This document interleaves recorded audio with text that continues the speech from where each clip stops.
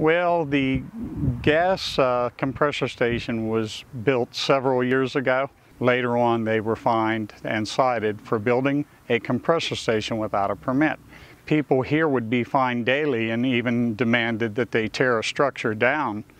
So there is a level of unfairness. We were never given the choice to decide whether or not we wanted this compressor station down here in the first place. It was built, they were cited, and went on. I own three acres of property here.